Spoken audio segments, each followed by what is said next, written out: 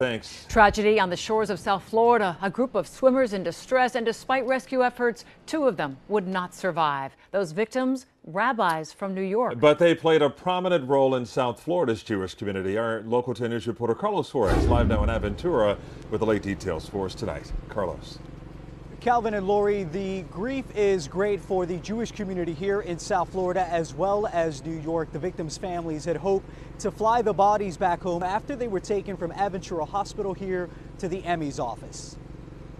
Tuesday, the bodies of two rabbis from New York were taken to the medical examiner's office hours after they were pulled from the waters off Haulover Beach. They got three victims.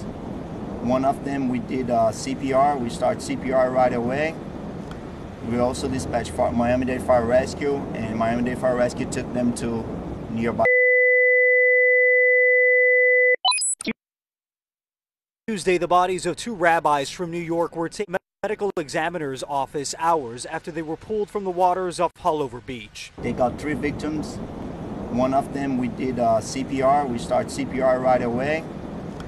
We also dispatched Miami-Dade Fire Rescue, and Miami-Dade Fire Rescue took them to nearby hospital. Police say Rabbi Isack Rosenberg and Rabbi Chaim Parnes were swimming with friends in an unguarded area of the beach when they were caught in a riptide. You're talking about two individuals who did never lived for themselves, only for somebody else. That lifelong dedication was evident outside Aventura Hospital, where South Florida's Jewish community gathered to pay their respects.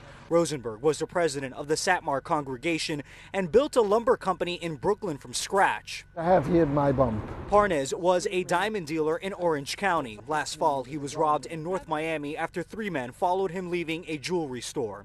Parnes talked to Local 10 News about the terrifying experience. It's today Thanksgiving. I'm giving a big thank for God. Friends described the men as generous, religious pillars of their communities who left indelible memories back home.